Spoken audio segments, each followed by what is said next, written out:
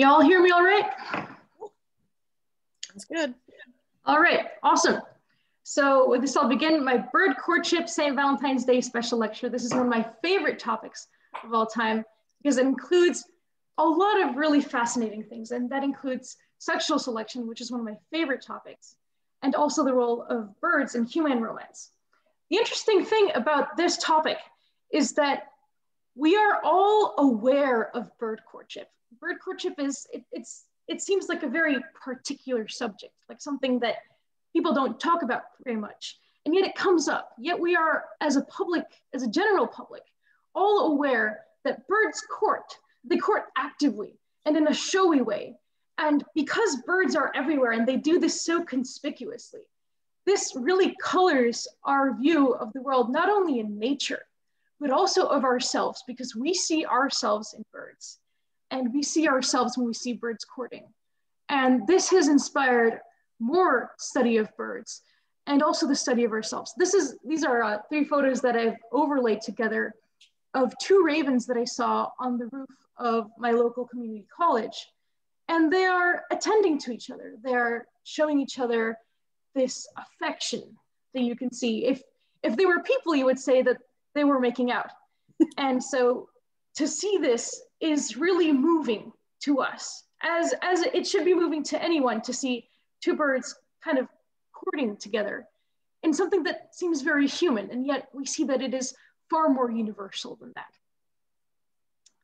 Um, I wanted to go into uh, some of the most amazing displays that I know of and how I got interested in this. This is a photo of a great bustard, which is a very large bird that lives in Europe. And if you go to the fields of Spain, especially in spring, you'll see this, you'll see this kind of a, it's pretty big, but otherwise kind of regular looking bird standing out there in the middle of a field. It's got these tiger stripes on it. And you'll, maybe you'll turn away for a second, but if you turn, turn back in a minute and see what it's doing, you won't see a bird anymore. You'll see a blob of foam that's just kind of transforming out there in the field, just moving all its white feathers, turn from a brown bird into this blob to this ball of foam. This is, this is a very intense experience for a person to see. And so you can imagine what a female bustard staying out there in the field as well may be looking at. Um, I wanted to, to show you my very favorite bird, the King of Saxony bird of paradise, and its display. So I've attached this video here that I'll be playing in a second. Um, and you can see it has these two long feathers on either side of its head. Um, and it's able to move these independently. And it'll sit out there on the branch and it'll call with this weird sound that it has. It can move both of these feathers. And it produces a sound like radio static.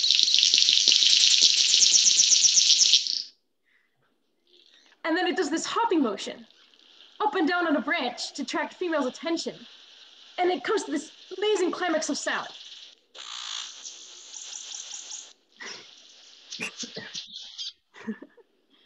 and so it is because of these videos from Cornell that I became so interested in, in how, how did this happen? How did we get, um, hold on, let's, let's try and, and move on to the, to the next slide. How, how did we get this, this amazing variation? Let, let's, let's try to one second. So we can move on to the next slide. There we go. All right. Um, so let's talk a little bit about the requirements of courtship. Uh, one of them is sexual maturity. And obviously because, you know, if a bird's body isn't ready to reproduce, then it cannot reproduce and it cannot follow through with courtship. And lifespan does make a difference. We see a, a strong correlation of lifespan with the age of sexual maturity um, so when you're looking at um, when when you're looking at different aged birds, so for example, if you take warblers, which don't live a very long time, you might be shocked to to think about how they start breeding only in the second year of their lives, right? That sounds that sounds kind of crazy. However, you also have to consider that warblers live only about four or five years. Mm. And if you compare that to people that's kind of like, if, if we say that the average lifespan, I, I may be off on this, is about 60 or 70. That's a pretty good lifespan. That would be like a person uh, reproducing at about 30 years of age, which certainly seems very reasonable because that's not very far off from how we do that, at least here. Um, and then in comparison, if you take an albatross, which can and do live up to 60 years, uh, they start breeding and about the 15th year of their lives, and sometimes a little bit earlier than that, but they take several years to mature. This is also the case for the blue bowerbird, which you can see in these photos. You can see this, uh, this male on the right photo discerning, uh, kind of taking a, a look at this, this younger male who is green. He's not fully mature yet. He's got this green coloration. And so he kind of looks like a female blue bowerbird, except he's got this bright blue iris. This is how you can tell it's still a male. And uh, you can see that this young male, he's collecting blue things, which is the favorite activity of the blue bowerbird. And they do this in order to put all these blue things, which nowadays tend to include a lot of plastic things, like, uh, as you can see, bottle caps. Um, but in the past, they will have collected blue feathers and anything else with a sheen that, that, is, uh, that is attractive to them. And this young bowerbird is, you know, he's, he's not sexually mature yet, but he's collecting blue things and he's practicing building a bower. And I'll explain to you what a bower is and why the bowerbirds are called this way. A bower is a display area that these bowerbirds set up. And it is a, in, these, in the case of this species, because different species of bowerbirds set up different kinds of bowers, they set up all these sticks and a parallel, two parallel pillars, you know, apart from each other. And in the center, there's a gap and there's more sticks on the ground. And then all around them on the ground, they will put blue things. And this is to please the eye of the female and to create a kind of a spectacle. Um, because the male then, when a female has come to the bower and is checking out, ooh, look at all these, look at all these blue things lying on the ground and this, this weird structure made out of sticks that is clearly not, not natural, not made by the elements, then the male bowerbird will hop down to his bower, he'll kind of strut around in his bower and he'll show off, he'll, he'll pick up, hey, look at this blue thing. I, I got this blue thing. Look at this bower that I made, you know. And then if he gets lucky, then they'll mate because she is pleased with him. Um, but you can see also that the young bowerbird builds bowers. He's clearly not reproducing, but he's practicing. And in fact, the young bowerbirds, in the case of the blue bowerbird, will sometimes collaborate. And you'll have kind of this whole gang of teenaged blue bowerbirds that are not sexually mature yet, but that are building bowers together. And, uh, and the funny thing about this photo down here that I have is that the, the adult male is looking at the handiwork of this, this young male bowerbird who is clearly not very good at building bowers yet because all the sticks are lying on the ground. All right, the next requirement uh, is availability because if a bird is ready to breed, but there's nobody to breed with, then you can't breed. So um, birds have to get together. And in th this case, you might recognize these birds. These are the greater sage grouse. Um, and you can see these two males with these big spiky tails on the right and these big inflated neck pouches with these white stiff feathers prickling out from them. And they're both taking a moment not to compete with each other physically, but rather to stand together and try to get the attention of this female who is giving them both a really nonchalant look um, on the side. And what these birds are doing is they're lekking. They have all gathered together in one spot in a place called a lek, because in the case of the greater sage uh, grouse, you'll otherwise, any other time of year, you'll find them spread out over the vast plains of the Midwest um, and you'll you'll you'll have all this this uh, this sage, and it looks like there's nothing. There's a few birds, and there's not really a way for these these merits, in the case the the aesthetic beauty of the male grouse, to be shown altogether. And this is very interesting because you can see that these birds are gathering whether consciously or not, to, to compare each other with themselves. And then for the females to choose who she wants to mate with. It's a big party for the purpose of breeding. That, that's what a lek is. And availability will differ um, between the different kind of lifestyles you have in birds. So nomadic birds, which are somewhat similar to the sage grouse. Um, let's explain first that nomadic means that you don't have a fixed home. You're not staying in one spot. You are a resident over a large area, such as a desert, or for example, a swath of the Pacific Ocean. Um, but your food source is random, and that's why you're nomadic. You're and you're nomadic because you're following this food source, like fish, like berries, which come in and out of season in the case of the sage grouse. Um, and you are getting together in groups because this way you share information. And when you share information, you have a higher chance of survival all together because these birds are stronger all together rather than apart in this unpredictable place like the desert, like the ocean. And so in the nomadic case, you tend to have things like leks, where they will gather all together and they'll have a big show. In migratory birds, there is sort of a, an, also an agreement on where to meet, but it simply means that some part of the year you'll be somewhere and another part of the year you'll be somewhere else, depending on what is more comfortable for you. And so that just means that the males and the females have to migrate together or at least be in agreement about where they're going to go. And after that, it's decided in much the same way as a resident bird would decide where there is a bird claiming a stake to a territory or at least proclaiming its merits um, and then other birds deciding whether or not they want to mate with that bird. And especially in, in what happens with migratory birds, you have something very important happening is this the, the staking of territory. So we've got, we've got sexual maturity, we've got availability, and now you need to stake a territory. You need to put out this fence and say, I've got this place. I, that means I can, you know, I can breed, I can make a nest, and you should check out, you know, you should check out my backyard. You know, what's, what's my backyard looking like? And in this case, in this photo, you can see this wren that's perched up in this very typical position on a snag and it's singing its song, which by the way, is incredibly loud um, for such a small bird. And it's advertising. And in the springtime, migratory birds will, will have the males arrive a week or two, say usually a week and a half before the females do to the same spot. So say you're a warbler migrating up to the boreal forest of Canada. The males are gonna get there first, and the females come a little bit later. Why is this?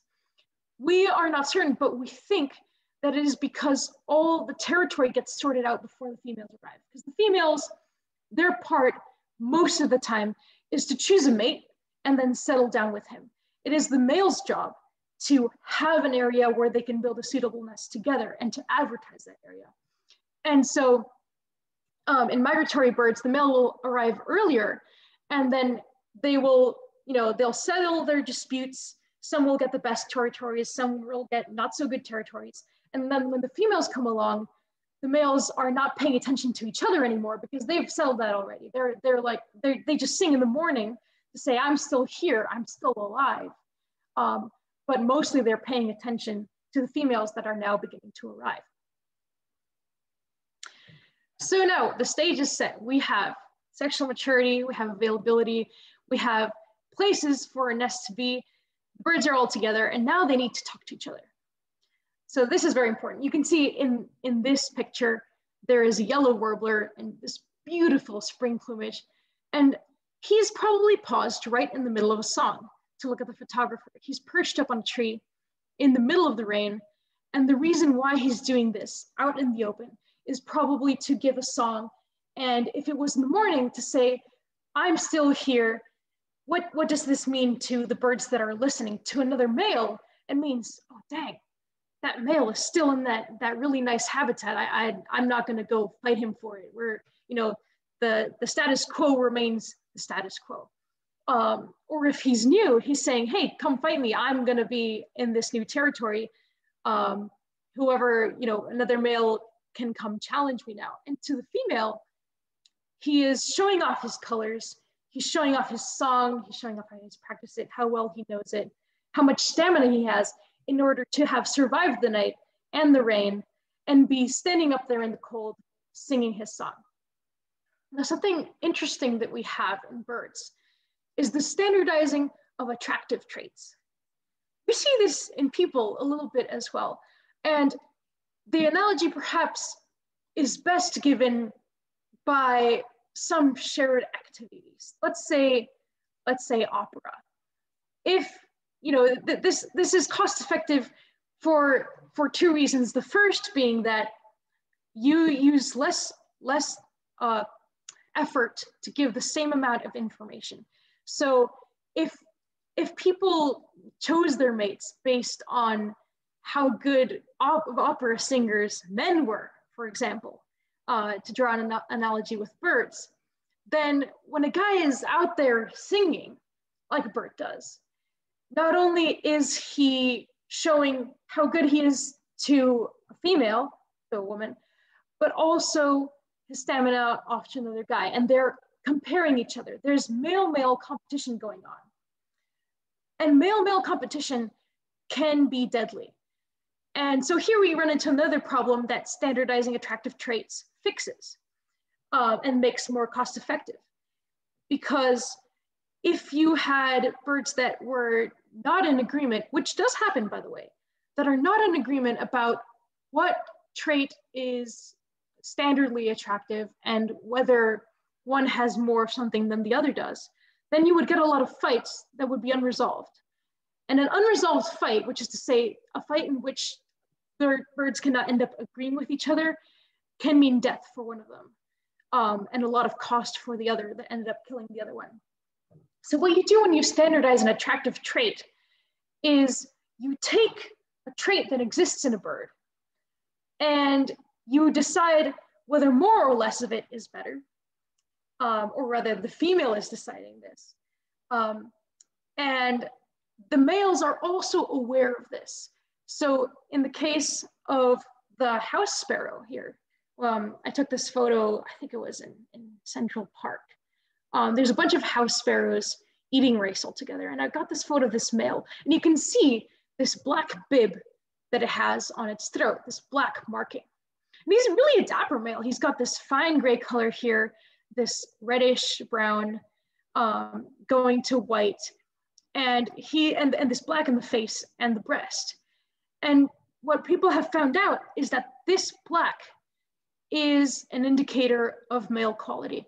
And part of what this means is that male house sparrows during the breeding season are looking at each other and they're sizing each other up.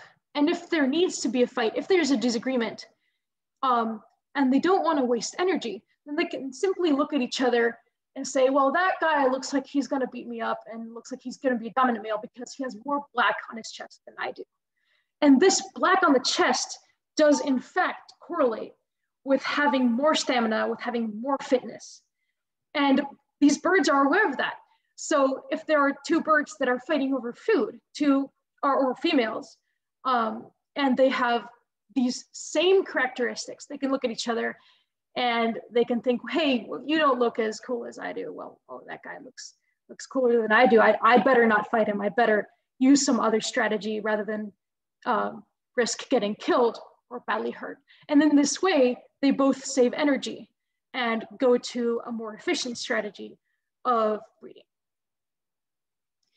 And so you start getting these interesting things that we all know there's a really stunning variety of, of markings in birds. And in this case, you can see this is up close, the king vulture.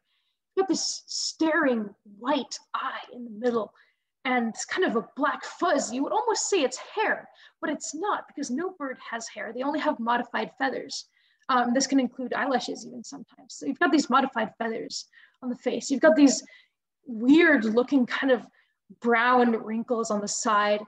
And then this, this snoot that's almost like a turkey's snood, this brightly colored skin hanging over the beak, which is bicolored in this kind of a Halloween theme, which the whole bird looks like really. Um, so you start getting these, these bright things and you're wondering to yourself, so are the males looking at this? You know, are they, are they looking at each other? How can they size up all these different factors?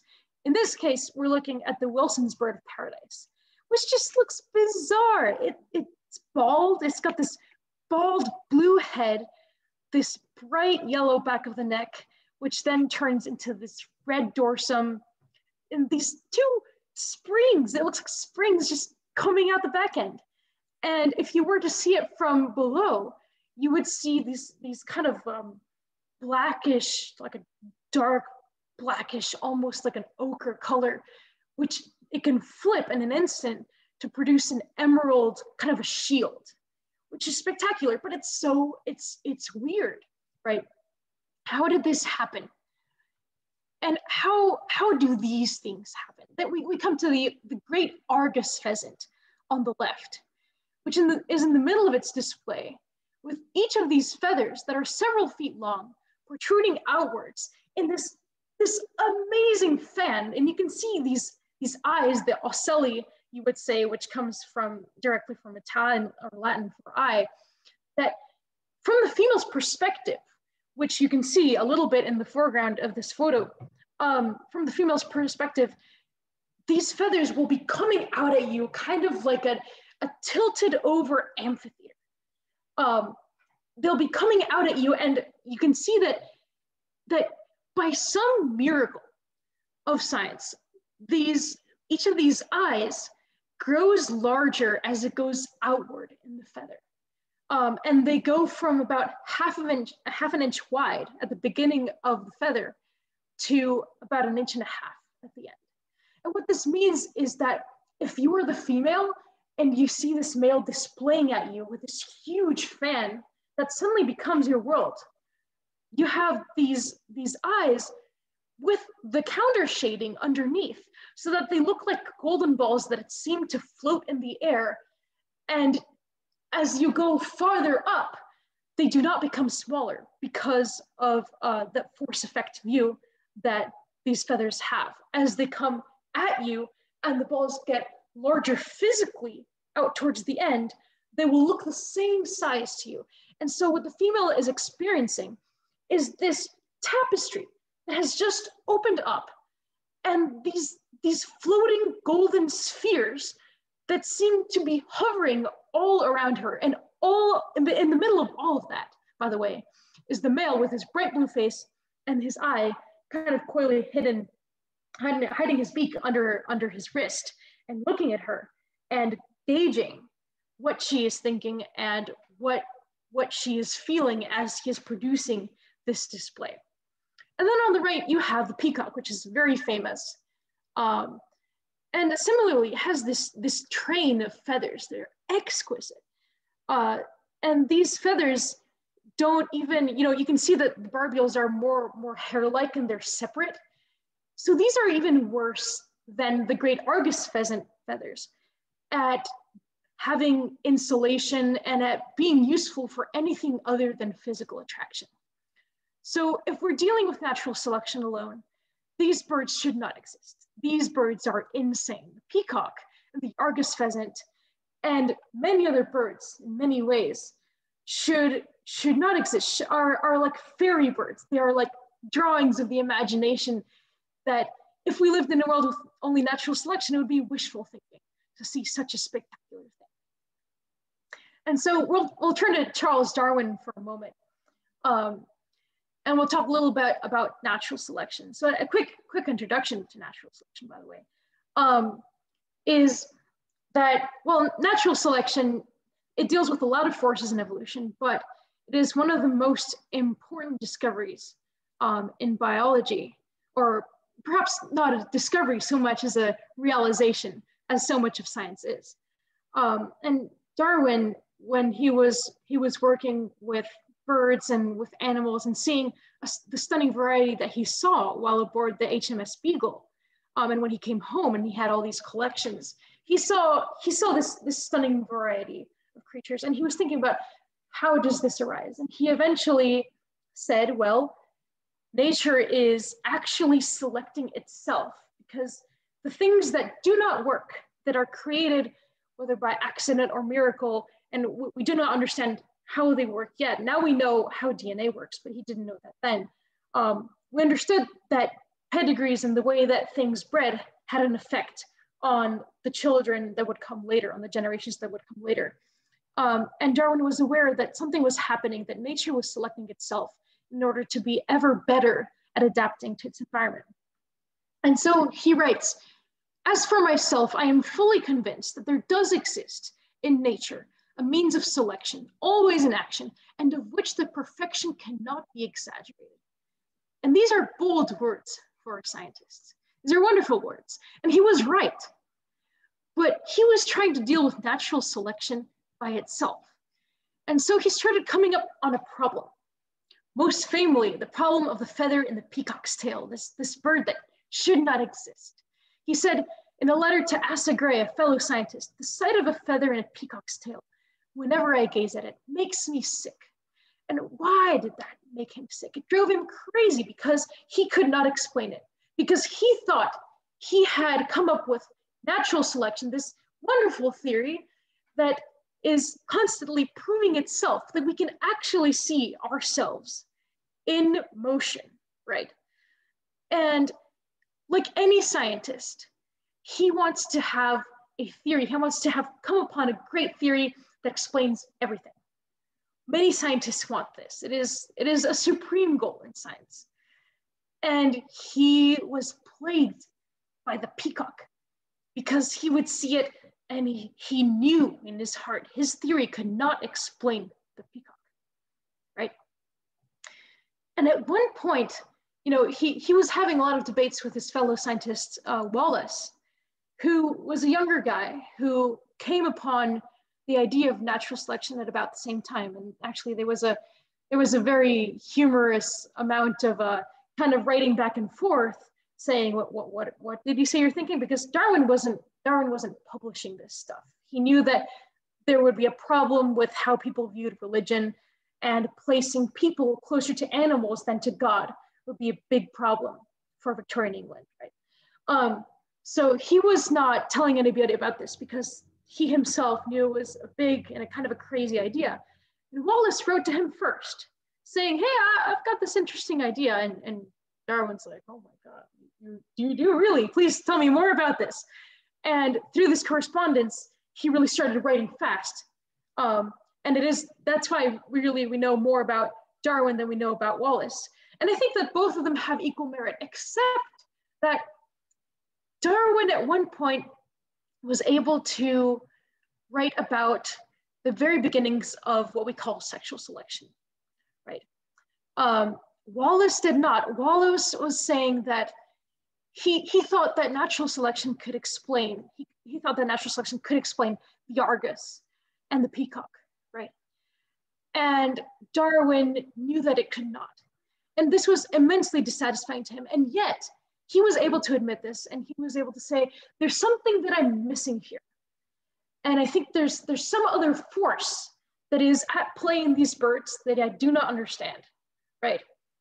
And at one point he was able to write that he believed that there is actually such a thing as aesthetic adaptive mate choice, which is to say that these things we see here are not caused by the whim or the trimmings of nature and natural selection, but by the eye of the female who's standing right there in front, looking at the male and making this choice, choosing whether she will carry on his genes or not. And this has an immense amount of power. Before people were talking about, well, the males are looking at each other and there's male-male competition, right? Um, and then it was sort of assumed that, that when the males had decided what the competition was and who had won, that they would mate with whatever female that they wanted, that they'd been buying attention uh, for. But it is in fact the female that chooses in many birds, right? And this is immensely powerful. And we have, we have now some explanations for why we get these crazy phenomena, not just of the great Argus pheasant, not just of the peacock, but in many of the birds that we see around us, these things that would be difficult to explain just using natural selection. We can explain them with sexual selection and say, well, in fact, not only not only should we change the meaning of of phrase natural selection a bit and say it is not it is not and let me make this clear it is not survival of the fittest it is the survival of what works and this is very important to understand when when thinking about evolution. So let's let's put these two down. Natural selection as the survival of whatever works and the death of what doesn't. Not the survival of the fittest and the very best. We are not we are not uh, striving toward a very last like we're not striving toward an end game bird that is the most perfect peacock or the most perfect argus pheasant we are seeing the survival of the argus pheasants that are good enough to survive and the peacocks that are good enough to survive and then the second part sexual selection we are seeing the survival and the propagation of the genes of the peacock and the Argus pheasant that are good enough to survive and then to reproduce, right? That, that is sexual selection. And people have tried to, uh, and like Wallace, to try to umbrella sexual selection under natural selection and say, well, they're, they're really not that different. Sexual selection is just a subset of the same thing. But we know now that we are not able to do that because there are cases in which sexual selection is an opposing force, famously as with the peacock. Darwin was looking at the peacock and he was seeing this ridiculously long, shiny train of feathers. He was saying how much work it must take to clean those, to carry those around, and the cost of, of you know, being a male peacock that you could be caught by the paw of a cat stepping simply on your train. And you have difficulty flying, and it's it's so much trouble. What is worth that trouble? Is what was bothering Darwin. And what, what Darwin was seeing is that natural selection is supposed to shorten the peacock's tail, is supposed to make things easier for the peacock to survive. And this, this train is not doing that. And that is because you have the opposing force of sexual selection that says trains should be longer just because a female peacock who kind of ironically wears the pants in terms of how genes get to be propagated is discerning and choosing, perhaps arbitrarily and on a whim, whether or not she likes the, the peacock's tail longer or shorter. And so because they are not always, but many times opposing forces, we know that sexual selection has to be separate from natural selection. Um, I wanted to talk about a very interesting case uh, happening with blue manakins, and this probably happens with several of the birds. I've got a GIF here um, where you can see this female, this kind of drab green female fitting perfectly in with the leaves. She's sitting up there on the left, and there, there are, well, it's difficult to see with the GIF, but there are not one, but four males competing for her attention, or at least that's what it looks like. But they are not actually competing, they are cooperating. And this is a fascinating case where uh, we, we now know that the elder male blue manakins have had more experience dancing um, and showing up for a female because they have been in troops before like this. The other males are going to be younger. They will be inexperienced. They'll have their turn kind of flapping in front of her for a second, and then they'll go to the back of the line and they'll come up in front again. And this will be repeated but if the female does choose to, to, to mate with, with the bird, it's because not only she's saying, I like how this, this troop performed, she's only mating with the older male, the, the kind of the lead of, of this troop. And this is a very interesting system because one would think that if you're a younger male, you'd say, why would I go dance in some other older male's uh, kind of group if I don't get any benefit out of it? But the thing is, they do get a benefit because they get this experience. And later on, they will gather their own younger males in this dancing troupe and be able to dance for other females. And younger males, in fact, sometimes will be a part of many of these groups at once. Um, and kind of throughout the course of the day, they'll they'll take part in some, and they'll then they'll go dance in another. And in that way, they are gaining this experience. And it's almost like a practice. And I'm not sure that we fully still understand how much of a benefit uh, these manakins can get um, from from this, why why they do this. There is they clearly gain experience, but why have manakins in particular uh, chosen to cooperate, right? The, this is still this is still in study. Something else that I wanted to mention while we're still on the subject of manakins is that um, we see these amazing displays, right? We see we see these dances that have become standardized, which is this is this is really amazing that we can have, you know, a father bird that fathers some kids, and then those kids go on and dance the same dance that he did, or almost the same, right? Depending on sexual selection and natural selection working together in evolution. And we are in fact able to trace lineages of different birds and study taxonomy or where to place different birds in terms of how they are related to each other based on their dances. Because you can actually follow the similarity of their dances um, through, you know, through taxonomy and say, well, this dance is actually quite different from that other dance in that other species. But this species and this species have very similar dances. And that can in fact give us a clue into, uh, into how related they are. And so we see how closely tied these amazing displays are uh, to evolution and to sexual selection. Um, I, I, wanted to say that different breeding strategies uh, require different courtships, right? So uh, we'll talk about the basic forms. We have polygyny, um, which comes from, it, it, means poly is many, and gyny is female, um, or jin is female.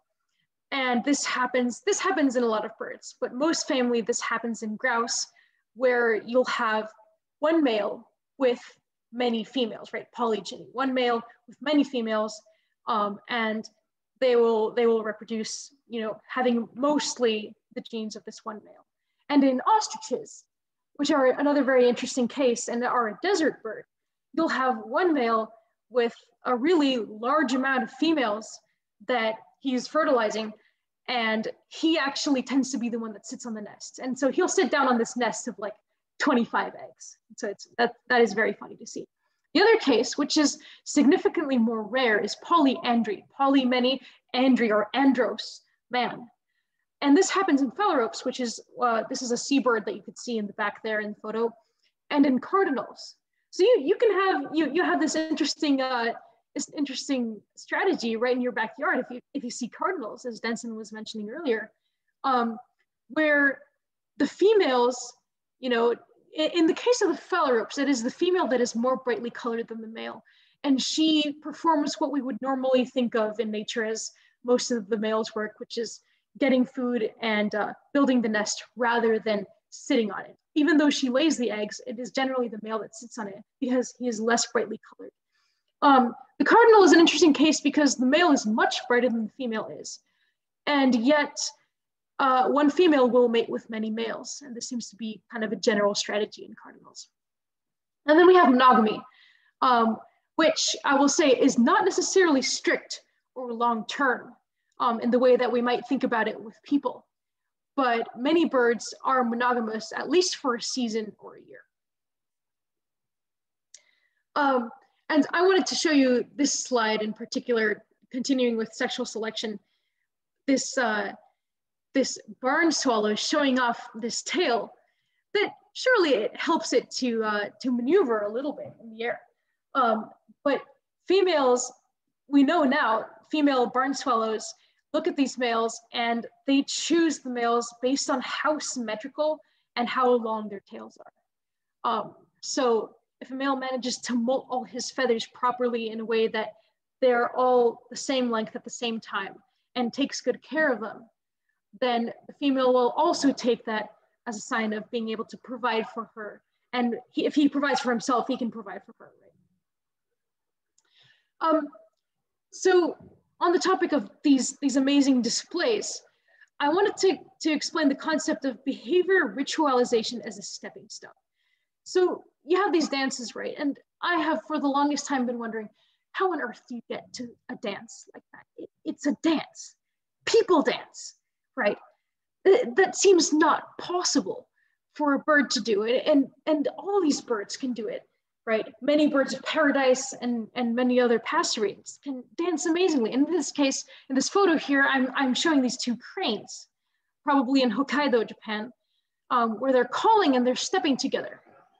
And ritualization is a concept that was brought up by Huxley, um, which has become super important because it is explaining these dances as a set of small steps that have been all added together.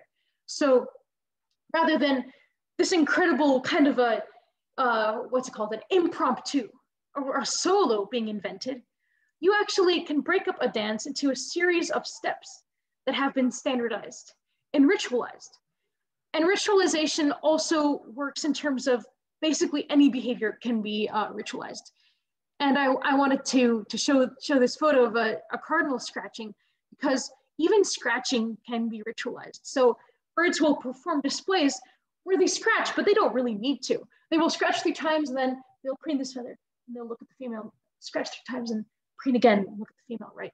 Um, and there are, there are dances where it is very obviously a result of a ritualization of a more mundane action like scratching, like preening, like looking busy. But it has been standardized and it is very clearly not useful because it is, it is not useful to scratch for the scratching, it is actually for the attention of the female, right? Um, these are also placed sometimes as displacement behaviors, in particular scratching, preening, and the appearance of looking busy, because there are cases where two birds that are getting together don't actually know whether the other is a male or female, um, as far as we know, because they are colored exactly the same. They tend to be a similar size, uh, especially in, in passerines. And if you're a male and you're getting closer to another male um, because you think, or, or to another bird because you think it might be a female, but it turns out to be a male, you're risking, you know, being beaten up, right? And so males that are approaching a bird that they think is a female will exhibit these scratching and preening and looking busy behaviors, as well as appeasement behaviors, because it shows that they are not violent, that they are not about to go fight this bird. They'll look away, which is pointing the beak away, which is the primary weapon, right? They'll, they'll point the beak away. They'll say, I'm not interested in fighting you. They'll tuck their bill into their feathers and hide it. And they'll turn and they'll scratch and they'll do all these actions that are saying, I'm not going to attack you. I'm just, I want to get close to you and I'm doing all these weird other things, right? Um, I wanted to show this photo of the two grebes rushing, which I think you all saw on the pamphlet. Um, this is an, this is one of also one of my favorite displays where the two grebes will keep each other in their sight. You can see they're both looking at each other because their eyes are on the side of their heads and they're keeping time with each other as they rush across the surface of the water, um, often for several meters as they go along. And finally, after we have all this courtship uh, behavior, all, all, all these things we talked about, we get bonding. And these are when two birds are establishing rapport. They're establishing that they're going to be mated together. And obviously this doesn't happen in all birds, but generally the longer lived they are, and the more the more permanence they have. So they will give each other gifts and attention. And, and gifts is interesting because generally, especially in seabirds, it'll be a fish or it'll be a piece of food in most birds. And it's saying, I can provide for you. And especially in the case of the male, which usually bring the gifts, he, he'll, he'll go to the female and he'll bring her a caterpillar or fish. And that's kind of saying, I can provide for you and I can provide for a future nest, right? And the female accepting that is kind of saying yes to being with him and building a nest together. Um, in this case here, which I'm showing of waved albatrosses and longer lived birds, the bond permanence tends to be higher. Albatrosses are kind of an extreme example of monogamy because if, if they don't work, which is almost only ever because they're not fertile together, then they will break up and, you know, and scientists will call this a divorce and they'll go in search of another partner. But especially in the case of albatrosses, where the courtship is so long, where it has to take at least a year and can be more than three years of active courtship, this costs so much that they'll they'll often get sick um, and sometimes they will die because of that.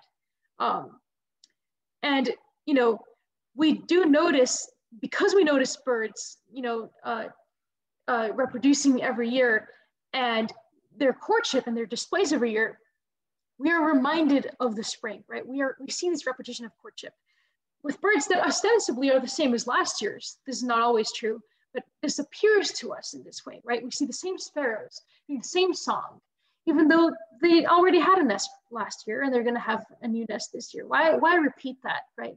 That seems so romantic. Um, and that that is very moving to us. Um, and you know, partners will attune to each other there has been an interesting study released last year, actually in 2020. They did a very interesting study on zebra finches, where male zebra finches will exhibit in the front part of their brains a increased activity uh, right before a female will call. So they can predict when, when their mated female is about to talk. And this seems amazing, but we can prove that they're actually doing this by looking at the female and kind of detecting when she's about to say something. Um, and also by the pattern of her calls. Kind of in the same way that if you're sitting at the dinner table with people, right, and you want to say something, but you're going to wait politely for somebody else to finish what they're saying, you will watch as they are talking and you will see the perfect window for in which you want to say something, right? And this happens especially between mated birds. And I wanted to show this, this, these cases of billing, which is something that happens during courtship a lot in different birds, which, which is very interesting because the beak, you know, it's the primary weapon, and yet after bonding, after tuning, they can touch their beaks together as a, as a sign of trust, as you can see these puffins and these gannets. Um, and yeah, I, I just wanted, I love this photo so much. So I wanted to show this in the ravens as well, where they are billing. Um, and so I just wanted to say that in my own life, I have seen many cases of birds, uh, you know, showing affection for each other. And, and, you can see these are three pages where I have drawn uh, in my field notebooks, where I have drawn birds that are courting and or that are showing affection and care for each other. And these are, of course, these are moving to me as an ornithologist. These are moving to anybody that sees them and is reminded of themselves. And you can see in the rightmost page where these two ravens appear to be holding feet. Who knows what a raven feels when they hold feet with another raven? It probably feels scaly and cold. But we see these things and we are, we are reminded of ourselves, right? We see swans courting every year and we are reminded of ourselves. But swans have been courting for many millions of years more than humans have been a thing. And that is amazing to me. So briefly, I wanted to say uh, we have we have this proof that we've been noticing birds for a long time with uh, this writing from Chaucer, Geoffrey Chaucer, who you will know uh, from the Canterbury Tales. And he wrote in the Parliament of Fowls, For this was on St. Valentine's Day, when every fowl cometh there to choose his make, of every kind that men think may, and that so huge a noise can they make, that earth and air and tree and every lake so full was that there was hardly space for me to stand. So full was all. So even before 1400, when Chaucer was writing, people had decided that St. Valentine's Day was the day on which birds got together and decided who they would love. And so this was a marker for us to say, look at the birds. They have come out today and they have decided they're going to love each other. Let us also choose our own loves. And that is how St. Valentine's Day, as far as we know, became a thing. And it was actually known as the bird's wedding day um, in many places in England. And it's because of this, this romance that we see, where we see ourselves reflected in birds, that birds have, have become a part of us in literature, in our music, in our language, in our art. And they have become auspices to explain things we cannot or would rather not, such as the stork to explain a new birth in the family, or the raven to explain why we feel weird about a, a death that we feel that might come or a death that did happen, right? And so, you know, I, I want to conclude this talk by saying I think that it is miraculous, but not surprising that birds have had this, this incredible effect on us in everything we do, even our personal lives like romance, because we see ourselves in them. And I wanted, and that's why I wanted to celebrate that in this talk uh, as well as, as the beauty of sexual selection and, and the perfection of that theory. Um, and I hope you all have, have uh, come away knowing a little bit more about uh, natural selection, sexual selection, and the role of birds and, and how we think as well. So thank you very much. Um, I'm about to go and, and look at the questions. All right. What time is it? Okay, 6.33, awesome. Let's, let's check on the chat. Okay, let's see. Let me see who, who was the first question here. Um, oh, George, you were asking what, what, what, what does it cause death? What were you asking? I figured that one out. That's because you were saying that they would fight each other, but now oh, that yeah. they have how swole each one is, then they know not to not to fight the guys that are too big. right, right. Justina Martelli is asking, how long can pairs stay together? Whew, that's a good question. That obviously depends on uh, the lifespan of different birds, right? Um, but uh, albatrosses certainly stay together for over 30 years in many cases uh, because they live they live as, as long as 60 years. And there's there are some cases where unfortunately they have they have a rate of mortality that that uh, will sometimes deprive a partner of a mate and then they'll have to switch mates. But i think that an average of 30 years while i have not studied this is probably probably a good guess between 25 and 30 years. Um, let's see Oh, George asks, side note from anthropology, I have heard that polyandry, also in humans, developed in societies whose men had a high mortality rate. Oh, interesting. Sometimes it would be male siblings married together and one woman. This way, if somebody died hunting, children would still have a father. The levirate device from the Bible also supports this. And Shalah dictating that a married man must marry his deceased brother's wife. I wonder if it's the same in birds. That's interesting. That that's hard to know. You know, um, we so far as we know and, and we don't know that much about phalaropes and other birds that practice polyandry um, males don't necessarily have a higher mortality rate than females do. So that's a that's a pretty interesting question. Um, is there just any distinction between them like between the the polygynous and polyandrous birds? Yes so the females will be the colorful ones generally um, except in the weird case of the cardinal right um, but in phalaropes, it'll be the female that has all the colors that you would, you, you know, if you've only ever seen uh, polygynous birds, monogamous birds, you'd look at that and you'd say, well, this bird is a male, but it's actually a female and the male is drab and he's the one who sits on the nest. So we're not exactly certain why, why this happened, but it may have to do with the fact that mate choice can have a runaway effect.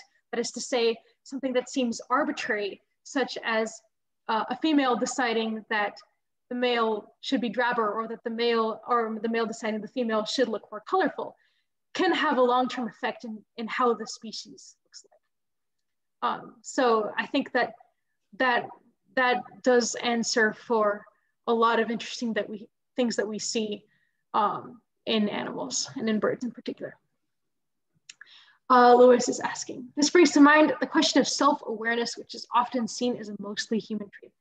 How do sparrows know, right? How do sparrows know how big their own black breast patch is? Right, that's a very good question. Um, and I, am certain there's gotta be a study on that somewhere. Um, but I'm not certain that they do know how big their own patch is. I know that they, you know, based on the evidence that we have, they are able to size up somebody else. And, uh, you know, I think that correlation is probably important here. The fact that the black breast patch is correlated to stamina and fitness mm-hmm. um, means that a bird looking at another male bird and seeing how large they are and their black breast patch is mostly, you know, he's he is sizing up the breast patch, but what he's most importantly sizing up is the stamina. And he knows, you know, he knows himself, right? And he's looking at this bird and saying, can I take this guy on or not? Right. So the black breast patch is kind of a is sort of a, a side effect that makes things easier. Yeah. It's a, it's a signifier, but he doesn't he, he cannot have awareness of his own of what he's signifying but he must right. an, an awareness of what corresponds to that. Right, right. He can he can only measure he can only measure uh, his own awareness of how how much of a chance he stands against that other bird, right? Um, and that other bird's patch and what that means for him, right? Are there any more questions? No? Okay, well, thank you all for coming. Um, I hope you all enjoy the talk. It's one of my very favorite topics. Uh, and uh, there's going to be another talk next month. We, we have to decide what, what date exactly, but there will be an email going out with the date and the topic. Um, you know, this teens program, we're going to cover a lot of things in general bird biology. So there's, there, there can be a wide range of things to talk about from birds as auspices in our lives, you know, what they signify to us, or, you know, bird anatomy. There's going to be a lot of stuff covered. Um, and so I opportunities for others to, for some of the people that are attending to also um, participate in or, and present. Yes, yes, absolutely. So the, I'm, I'm, you know, we're making this team program so that teen birders can get to know each other and talk about birds. And I also want other teens to be able to uh, participate and present as we go along. So I look forward to, to seeing you all, I hope. Uh, and you, you all will be getting, getting emails about what the next events will be. So thank you so much. That was great, Angelina. Thank you so much. It was really great. Thank you, too. Thank you. Glad you enjoyed it. Thank you. We'll get to actually bird with you guys in real life. Yes, that'd be awesome. Pasadena Audubon is awesome. Birding is awesome as well. All right, with this, I conclude this meeting. Thank you guys. Thank you. Thank you for coming, everybody. Bye.